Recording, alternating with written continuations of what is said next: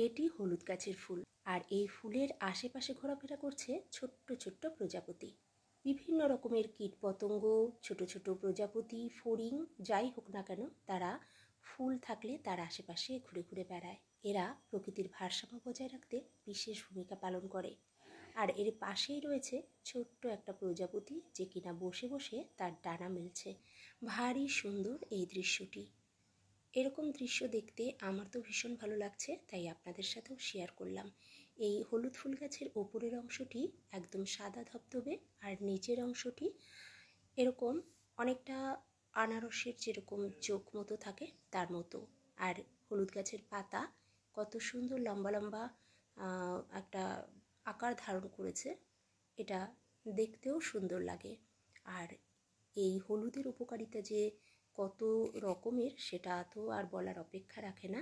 তো ধীরে ধীরে দেখাবো হলুদ গাছ এবং হলুদ গাছের ফুল সহ নিচে যে গোড়ায় হলুদ দেখা যাচ্ছে, এটা আপনারা একটু হলেও দেখতে পাচ্ছেন।